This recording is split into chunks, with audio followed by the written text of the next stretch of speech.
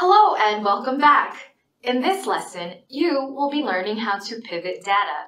Pivoting or reshaping is a data manipulation technique which involves the reorientation of rows and columns of your dataset. As data analysts, this technique is essential to have in your toolbox because it enables you to transform data to be easily understood and analyzed. Together, we'll cover how to pivot data using the pivot longer and pivot wider functions in the tidyr package. Let's get started.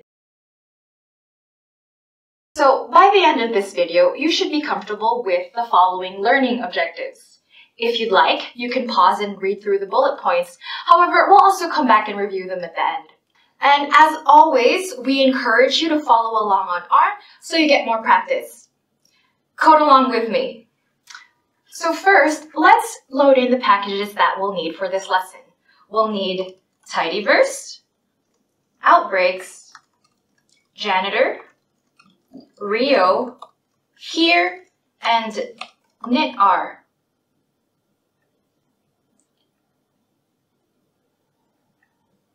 At this point, you may be wondering what exactly are long and wide data. Well, perhaps it's best if we go over these terms using examples. Imagine a simple scenario where you have three patients from whom you collect blood pressure measurements on three separate occasions. Now, the data that you collect can be recorded in a number of different ways. For example, it can be recorded in a wide data format, such as this, or alternatively, it can be also recorded in a long format, such as the figure shown below. Feel free to pause and study the two figures to make sure that you understand the difference between them. In the first figure showing wide data format, you may have noticed that the observational unit, in this example, the patients, occupy only one row, with the measurements or blood pressure measured across different days in three different columns.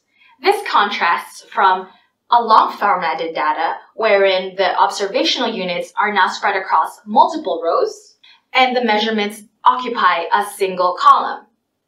However, in the long format data, you may have noticed that the observational units, again, our patients, now occupy multiple rows with one measurement per row. Here's another example with mock data, but instead, our observational units are countries.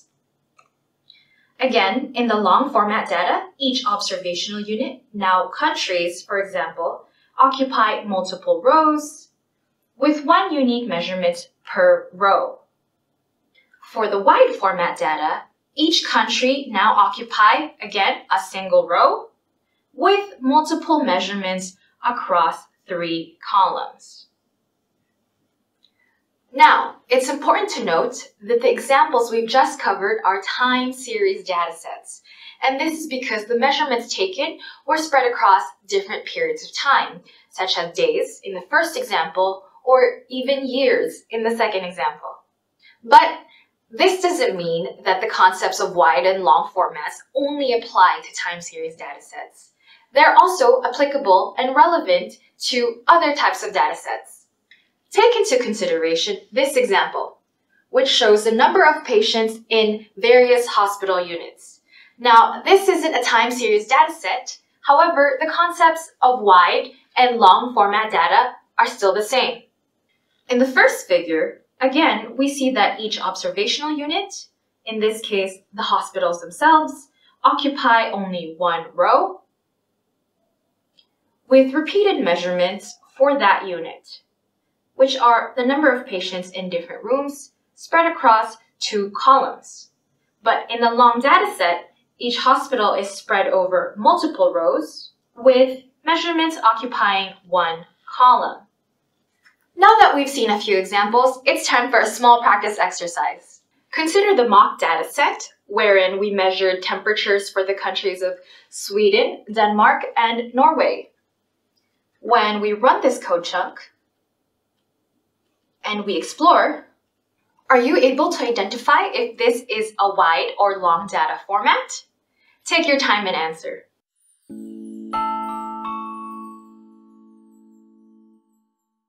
Given that you're now familiar with the general concepts of wide and long data, you may be wondering in which instances should we use wide or long data? Well, it really depends on what you're trying to accomplish. There's no straightforward answer on what format would be better, but it's up to you to decide. Wide format is generally better for displaying data because it's visually easier to compare your values. And long data is best for some data analysis tasks such as grouping and plotting. And since there's no straightforward answer to when long or wide data should be used, it's essential for you to know how to switch between the two formats easily. The technique from switching from wide to long format or the other way around is called, you guessed it, pivoting. In the second half of this video, we'll show exactly how to pivot between the different formats using functions we mentioned in the intro, which are pivot longer and pivot wider. Let's dive back in. Hello everyone and welcome back to the second half of the pivoting lesson. In the first half, you became familiarized with the concepts of wide and long data formats, as well as the importance of being able to switch between the two. Now that you understand these general concepts, we can finally cover how to practically apply these techniques. Let's jump back in. To begin, we'll first practice pivoting from wide to long formats using data from Gapminder on the number of infant deaths collected in some countries over the past several years. So let's begin with loading the data set. This is something that you should all be familiar with by now, since we've done it quite a few times over the lessons. But if not, no worries, this is the perfect time to practice. So we're going to assign this data set with a name, infant deaths wide, and to load in the data from data gapminder, excuse me, we're going to read CSV function here parentheses, quotation marks, and add in the link to the CSV file. We run that, and that loads the data. But to be able to visualize it, we need to recall the data set once more. Infant death, deaths with an S, wide. And you have your output, which is a tibble. In the output that we get when we run the code chunk above, we can confirm that this is indeed a wide format data set because of the following reasons. Our observational unit, which are the countries for this particular example, such as Albania, Armenia, Aust Austria, and so on, only occupy one row each. However, the measurements collected, which is the number of infant deaths for each country, are spread across multiple columns. And this is a definition for wide formats that we went over in the previous half of this lesson. If we want to convert this wide format into a long format, we can use the function pivot longer. And within this function, we can also use the cols argument to specify which columns we want to pivot. Let's see that. First, so let's recall the data set once again and apply our pipe operators, which if you're in a Mac is Shift Command M, and pivot longer because we want to pivot from a wide to a long format, argument, and specify which columns we would like to pivot. So we'll choose the years 2010 to 2015.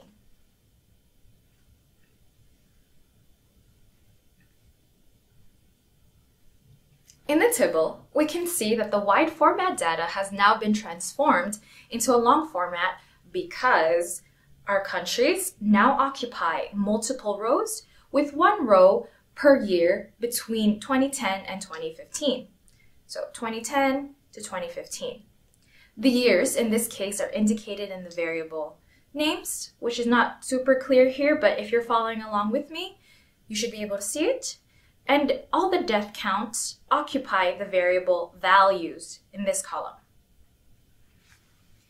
Now, if you want to rename the default variables into something more descriptive, like I've mentioned, you can use the arguments names to to rename the variable into years because that is what that variable describes and values to something a little bit more intuitive which are which are the deaths count for each country and here from the table we can see that this renaming was successful the variable names has been renamed into year and the variable values has been renamed to deaths count. If you want to make further adjustments, such as removing the x from the front of the years, this is also possible. To remove the x in front of each year, you can use the function parse number from the package readr in tidyverse, which extracts numbers from strings. So in order to do so, Shift Command M for our pipeline. And we're going to mutate, recall from the previous lesson, year, parse number, and year to remove again the X in front of each year. And to confirm, yes, this was successful. Again, it's not totally visible, but for this column, it's year and you should have no x's. And with this, we finally have a long format data set. The variables are intuitive, there's no annoying x's in front of the years, and we can store this data for later use. And to do that, we just assign it into a different name, deaths long, option minus, for the assignment operator. And when you run that code, you should now have saved your long formatted data. For now, it's time for a practice question. Using the Eurobirths wide dataset from Eurostat, convert this wide format into a long format, applying the techniques that we just covered. Take your moment and check in when you've finished.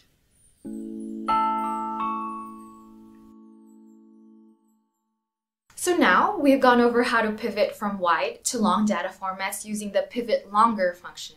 But before completely switching gears and learning how to pivot data the other way around, let's first consider in which instances you're likely to encounter data in a long format. First of all, wide data tend to come from external sources, such as the previous examples we went over from Gapminder and Eurostat. In comparison, long data is likely to be created by you whilst data wrangling. Now recall that you have done this somewhat in the previous lecture of group by and summarize manipulations. Let's now look at an example of a long format dataset using patient records during an Ebola outbreak in Sierra Leone. So we'll extract this data from the outbreaks package and we'll perform some simplifying manipulations like extraction, um, the year from the date, as well as select and rename, similar to what we've gone over with the wide format. So outbreaks as Tibble.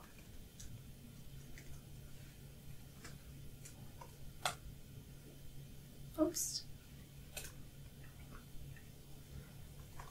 and we're going to mutate the year from loop per date year on set oh date of onset there you go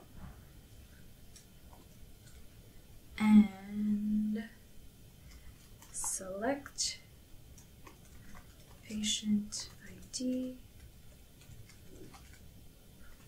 city, district, year of onset, year.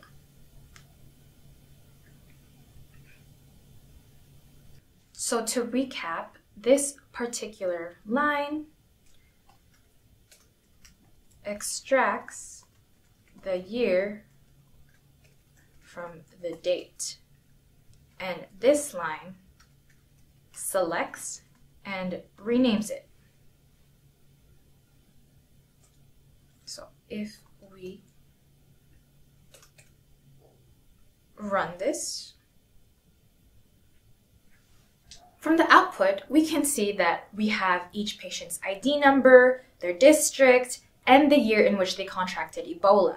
And each row corresponds to one patient. And it seems like it's now in a long data format according to the definition that we went over earlier. But it's not a long formatted data quite yet. But now if we group the data set by district, which counts the number of patients recorded within the year, we can see in the output that this is now what we would consider a long format data set because our observational units, which are the districts, now occupy multiple rows, so two each specifically, and one row for each measurement which is the year. So, as you can see, long formatted data is often obtained as an output of grouped summaries amongst other data manipulations. And now that we have a long data format, how about pivoting it the other way to a wide format? Well, this process is fairly easy.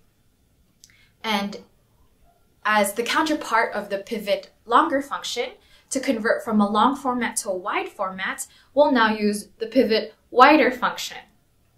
Now within the pivot wider function, there are two arguments that we need to specify, which are values from and names from. So values from will define which values will become the core of the wide data format. In our case, these values were in the variable n. On the other hand, the names from argument identifies which variable to use to define columns in the wide format.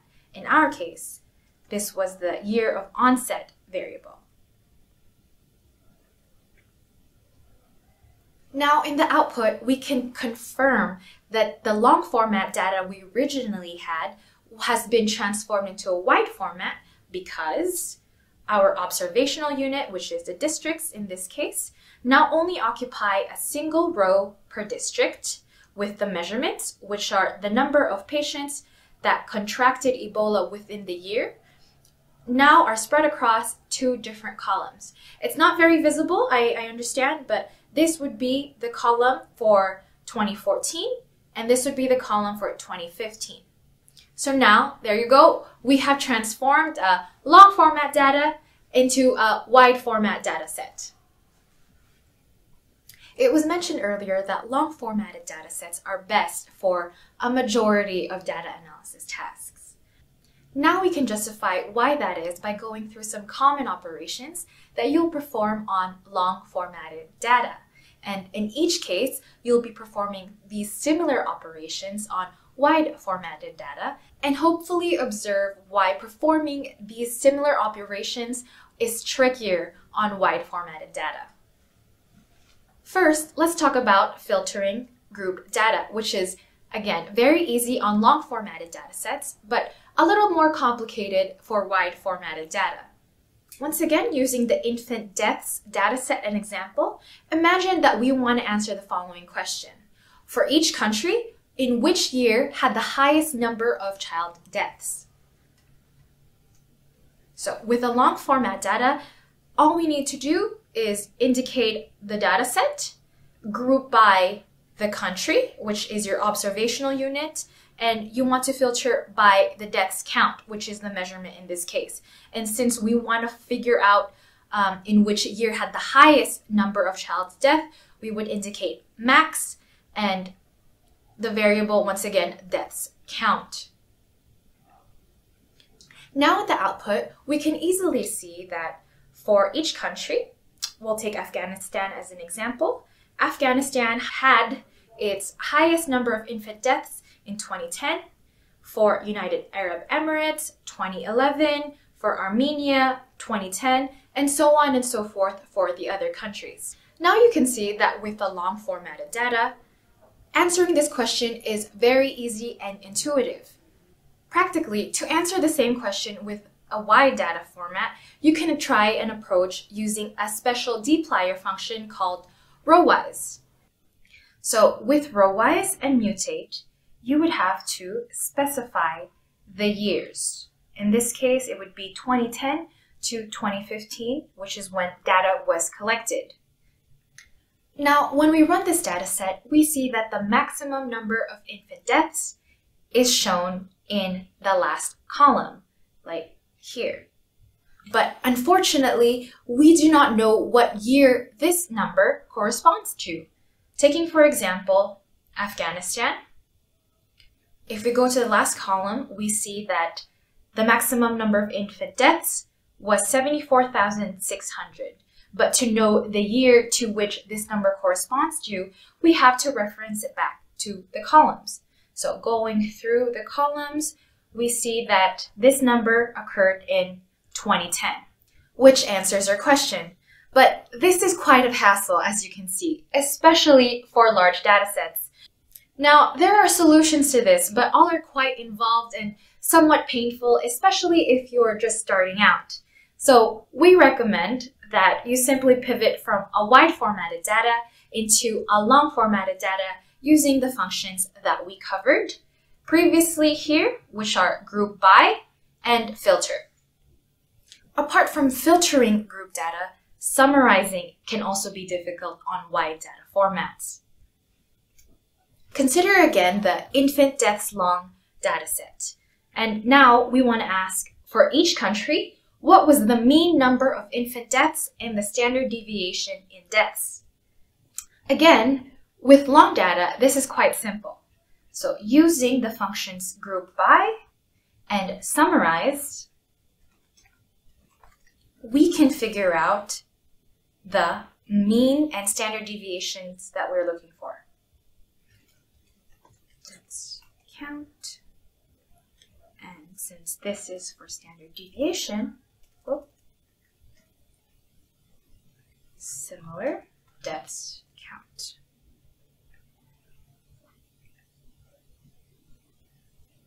Now we see in the resulting output, it's easy to infer the mean and standard deviation for each country. For example, for Algeria, the mean is this value, the standard deviation is this value. For Angola, similar, mean and standard deviation, and so on and so forth for all of the countries within the dataset. Easy. But with wide formatted data, again, the solution is less straightforward. If we use the rowwise function with mutate along with this argument, in the following output, we have this. Similar to the previous example, we see that the mean can be found in the last column. However, you may notice that the standard deviation is nowhere to be found. And this can be quite difficult to calculate, and you may find solutions to code this. However, to be completely honest, even we haven't found a solution.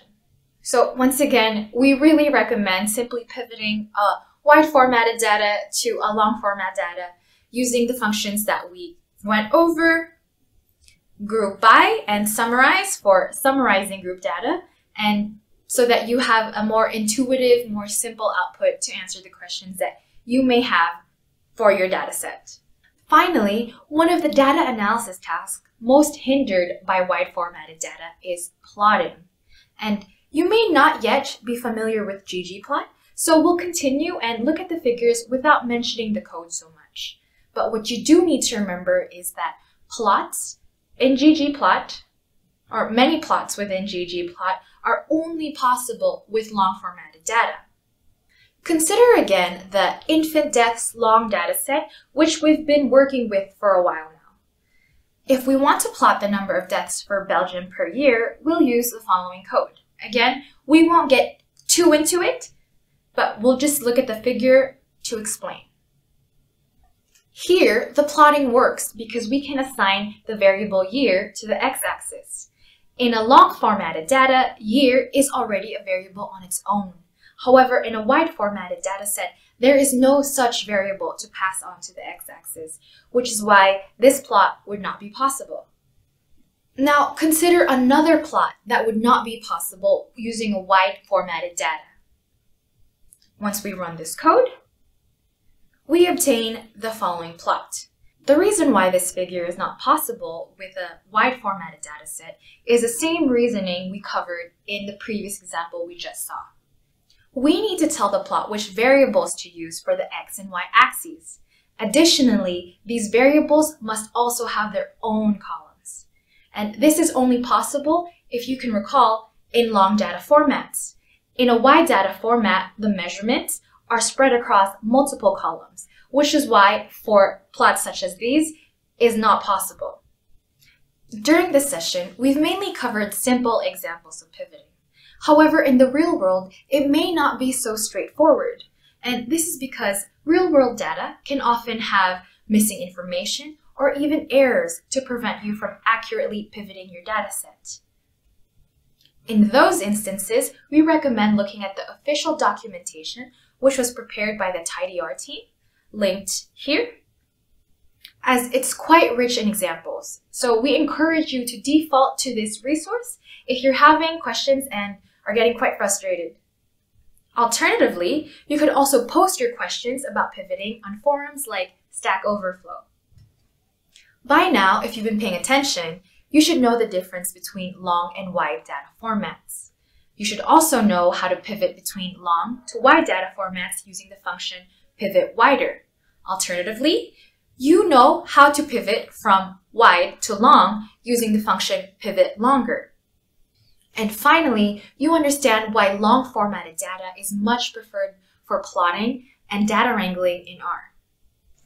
Well, that's it for me today. Thank you so much for paying attention. I'll see you in the next lesson. For more resources, visit our website where you can track your progress, access interactive quizzes and lesson notes, and connect with our teachers and other learners like you. And if you'd like a more guided experience, we also offer live online bootcamps with expert help. So join us at thegraphcourses.org to start your learning journey today.